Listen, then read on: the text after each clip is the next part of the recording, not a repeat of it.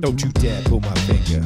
A tragic tale took place just the other day. Was at the back of the line in a subway. Something wrong in my belly cause I felt it move. Pretty girl in front, so I played it cool.